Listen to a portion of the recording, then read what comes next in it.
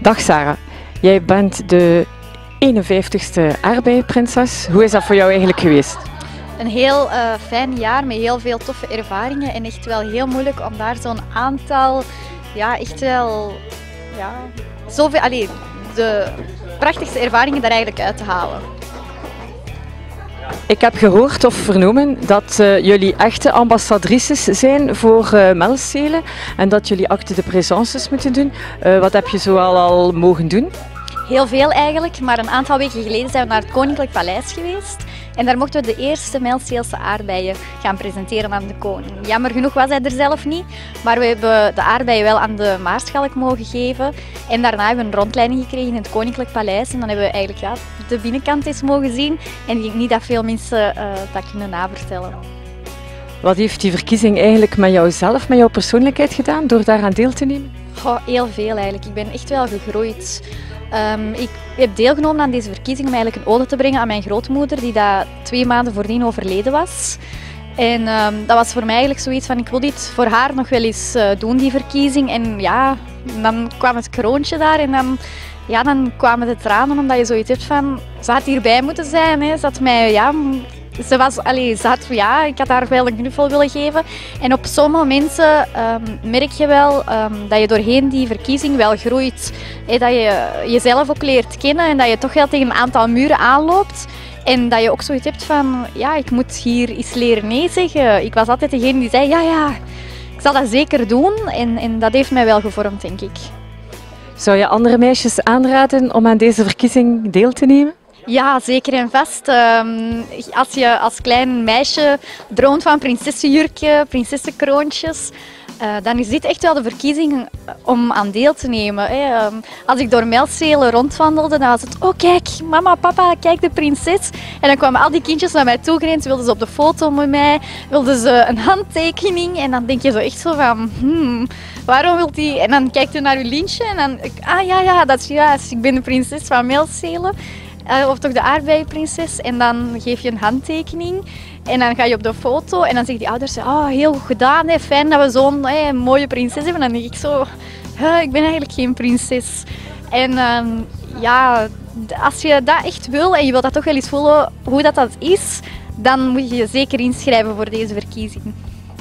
Hartelijk dank en uh, misschien tot de volgende keer. Oké, okay, dank u. Dag Kirsten, jij bent de eerste eredame van deze verkiezing. Uh, ik heb daarnet ook tijdens de persvoorstelling vernomen dat jij ondertussen uh, deel uitmaakt van uh, de organisatie van de Prinsessenverkiezingen. Hoe is dat zo gekomen voor jou? Uh, door mee te doen aan de show ben ik er eigenlijk wat ingerold. Ze hebben mij gevraagd dan, want ze zochten een nieuw OPCV. En aangezien dat ik ook groepslessen geef in de fitness, ben ik er ook wel wat ingerold. En uh, ik sta er ook niet alleen voor. Ik heb nog uh, straffe mede-collega's naast me staan, dus ik zal dat zeker wel zitten om te doen. Wat vind je van je tien kandidaten? Uh, ik heb heel hoge verwachtingen van hen. Het is een heel sterk team. Ze hangen ook heel nauw bij elkaar. Ook van, van presences, van, van uh, de manier waarop dat ze met elkaar omgaan, is heel sterk. Dus ik zie het wel, de show, heel goed komen en ze gaan allemaal heel goed doen. Wat is de beste tip die je aan de kandidaten kan geven? Uh, geniet ervan. Het duurt niet lang, het is heel kort, het is maar een maand. De show is zo voorbij gevlogen. Um, geniet van elkaar, geniet van de oefeningen en geniet zeker van de show. En als je dan gewonnen bent, dan moet je nog meer genieten voor een heel jaar. Wat heeft dat voor jou betekend om uh, eerste eredame te worden? Uh, heel veel. Ik heb ook heel Melcelen beter leren kennen. Um, ik ben van Beveren zelf, maar Melcelen is zo een klein onderdeel van Beveren. En ik heb toch heel veel mogen leren kennen, nieuwe mensen leren kennen. Ook vandaar nieuwe manier van leven. Ook opgetaloord is nu ook een onderdeel. Ik was erbij bij de eerste keer en dat was echt heel aangenaam. Dat was echt super om zo samen in groep al die mensen van Melcelen samen te zien feesten. Dus dat is echt, ja, je leert er ook veel uit. Worden, beter kunnen praten. En ik heb het ook wel nodig bij mijn studies, want ik studeer verpleging. Je moet ook heel goed kunnen communiceren en dat heeft me toch wel al een stap vooruit gebracht. Hartelijk dank voor dit leuke gesprek en heel veel succes met de komende verkiezingen. Dank u wel. Dag George, jij zit al een aantal jaren in het Aardbeincomité, in het feestcomité. Uh, hoe lang zijt je daar eigenlijk al mee bezig?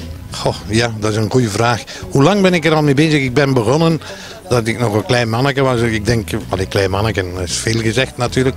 Maar ik denk een jaar of 25, 26 jaar geleden ben ik begonnen bij de voetbalploeg. En vroeger was eh, de aardbeifeesten, dat bestond uit drie verenigingen.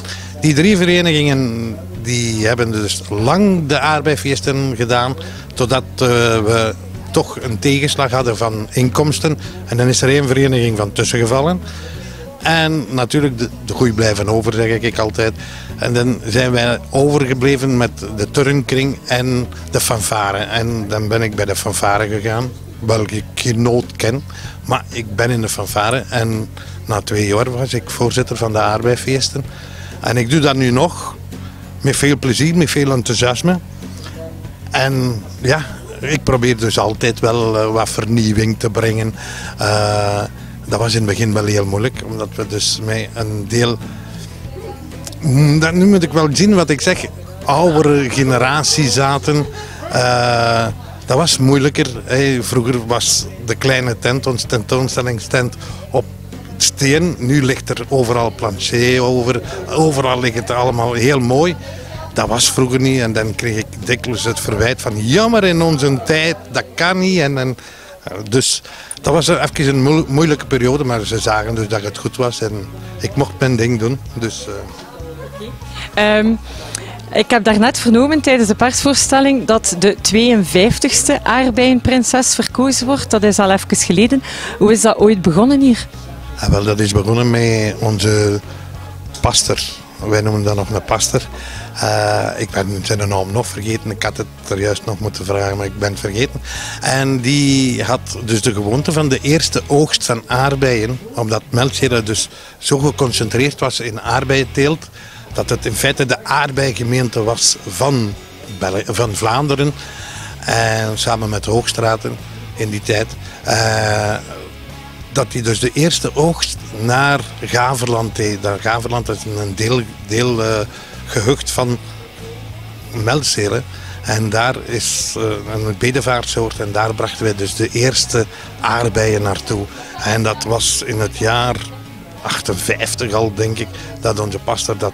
En wij zijn dus begonnen met de aardbeifeesten in feite in het jaar 1961. Maar we zijn begonnen met de verkiezing van de aardbeiprinses in 63. En de, onze eerste aardbeiprinses die leeft nu nog altijd, godzijdank. Dat is Accordilla Buis. En af en toe komt het uh, mevrouwtje nog altijd eens even langs op de aardbeifeest. En dat doen ze enorm plezier. Wat mij ook opgevallen is tijdens de persvoorstelling, dat is uh, dat dat hier een gemeente is die ongelooflijk graag feest. Is dat zo? Ik moet zeggen, Meldzelen is het, feest, het feestdorp bij uitstek. Uh, Meldzelen heeft drie grote feesten. Eén daarvan zijn wij, de aardbeifeesten. Twee, de dorpsfeesten waar we nu toch een redelijke samenwerking mee, mee doen. Omdat wij vinden van we moeten elkaar steunen. En dan Meldzelen Koerst, dat uh, valt altijd met kermis van september. En dan staat ons ganse dorp op kop. Want ik zeg altijd, Meldzelen is het dorp dat feest onder de kerktoren. En dat kan hier nog. En dat is het, het plezante eraan. Je moet, ik zou zeggen, kom eens kijken. Je zult zien hoe goed het hier is qua feesten. Dus uh, we moeten eigenlijk iedereen uitnodigen om naar de aardbeienfeest te komen. Zeker en vast. En, ik, ik, raad aan, ik, ik, ga twee uitschieters noemen. De Prinsesverkiezing en Meldzelen Zingt. Meldzelen Zingt, dat is ja, een volle borst. Gaat dan iedereen, dan, staat de tent op, op ontploffen. Uh, achteraf, als het, het, het, ding gedaan is, het Meldzelen Zingt gedaan is, gaat gans de fanfare nog aan de toog, gelijk dan ze zeggen, nog allemaal meezingers fluiten uit de klak gelijk dan wij dat hier noemen. En dan is, dan is de tent weer ontploft. Dat duurt tot drie uur ongeveer, s'nachts. Zingen. Heel hartelijk bedankt, George, voor uh, deze hele, dit hele leuke interview. En uh, tot binnenkort, hè, want uh, ik denk dat wij moeten komen. Hè. Zeker vast. Ik nodig dus iedereen uit om naar de aardbeifeesten te komen. Die doorgaan vanaf 28 mei tot 1 juni. En je bent zeker van harte welkom. Dank wel. Christine, die zal iedereen wel kennen.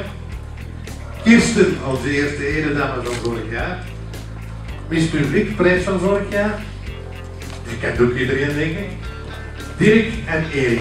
En dat ik zelf zijn er ook natuurlijk nog bij. Dat is ons nieuw OPV. Dan hebben we iets nieuws. En daar zou ik natuurlijk ook de burgemeester van Melchelen zelf naar hier willen vragen. De burgemeester van Melchelen, die is hier. Het is dan zo uh, vermomd van mij. Het is met een dikke vriend. Alsjeblieft.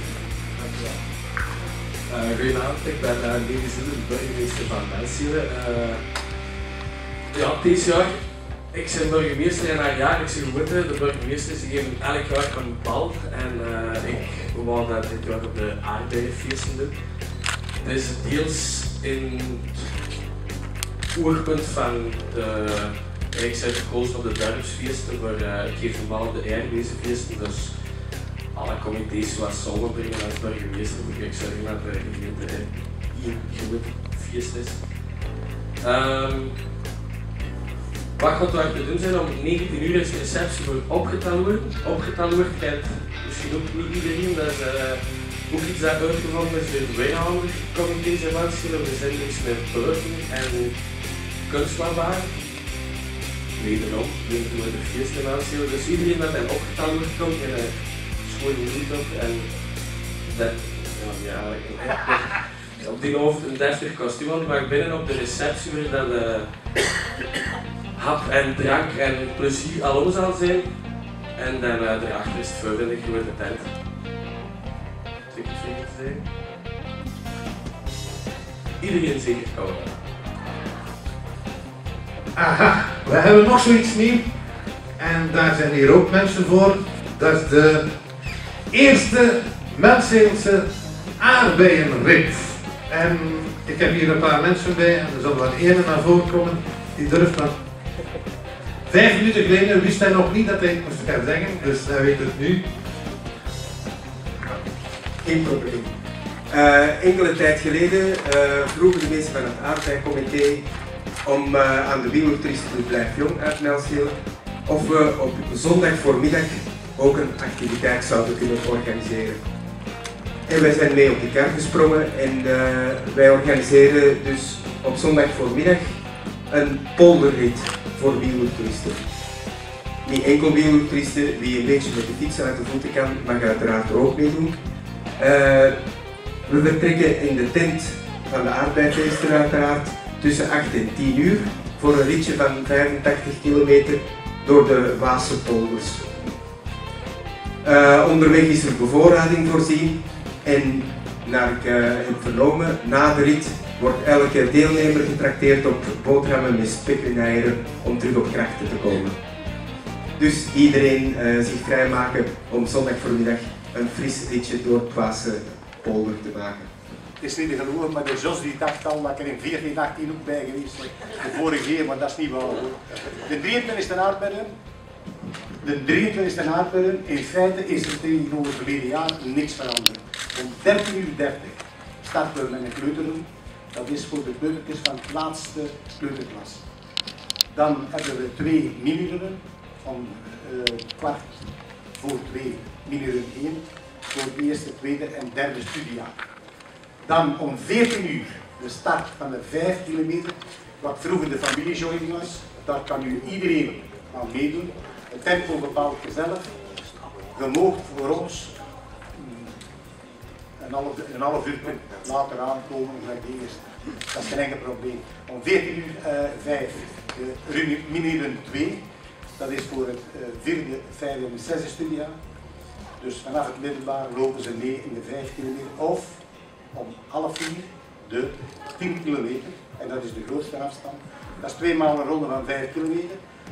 Aan de noordkant van Melzelen kunnen we spijtig genoeg geen langere uh, rondes ontwikkelen of we moeten al beginnen te Zwijndrecht lopen. Misschien kunnen we in de toekomst een kijken of we hier rondje van 10 kilometer en dan kunnen we misschien aan een halve marathon gaan, wie weet, voor degenen Jens die kunnen volhouden. Geen enkel probleem. Dus dat was het zo ongeveer. Het einde van de loopwedstrijd is voorzien rond half vijf. Om 17 uur is er een prijsuitreiking in de grote tent. Waar dus alleen voor de, de aankomsten van de 10 kilometer. De andere uitslagen worden onmiddellijk het podium klaargemaakt aan de aankomst zelf voor alle andere afstanden. De 10 kilometer is de uitslag in de tent om, zee, om, om 5 uur. En een uitslag voor elke loper is voorzien.